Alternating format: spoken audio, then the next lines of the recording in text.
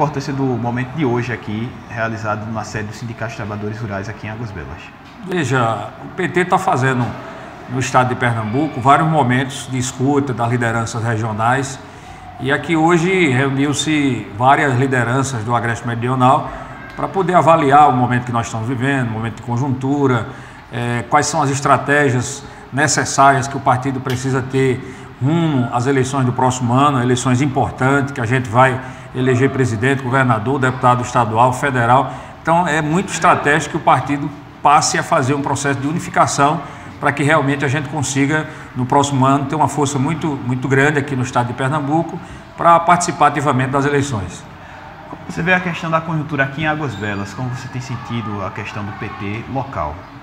Veja, Águas Belas vem já há vários anos eh, tendo na sua administração prefeito do PT, Tivemos por dois mandatos o companheiro Genivaldo, agora temos o companheiro Luiz Arudo. Então, o partido aqui em Águas Belas tem conseguido fazer um trabalho muito importante, tem dado resultado, tem mostrado um jeito diferente de cuidar das pessoas, de cuidar do município. Então, é uma conjuntura que eu, eu considero bastante favorável, bastante importante. É claro que a gente precisa cada vez mais unificar a nossa força do campo, da cidade, para que realmente a gente não só fortaleça o prefeito Luiz Arudo, mas também a gente passe a ter um grupo forte para participar das eleições do próximo ano. É, você está. É, uma das marcas aí de, de, suas andanças pelo Estado tem sido a conversa com diferentes pessoas né, e o apoio principalmente dos STRs nos diferentes municípios. Eu queria que você comentasse um pouco sobre essa relação.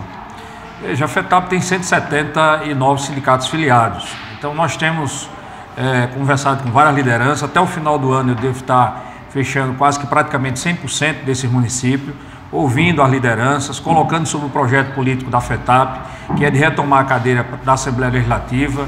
É, esse espaço que já foi ocupado, inclusive, pelo deputado estadual Manuel Santos, que foi eleito, foi reeleito, agora nós estamos construindo é, esse, esse, essa retomada desse espaço na Assembleia. O movimento sindical indicou meu nome como pré-candidato, então nós estamos conversando com várias lideranças. Aqui em Águas Belas a gente conta com o apoio é, do prefeito Luiz Haroldo, do, do, do ex-prefeito Genivaldo, de vários vereadores, muitas lideranças políticas aqui do município.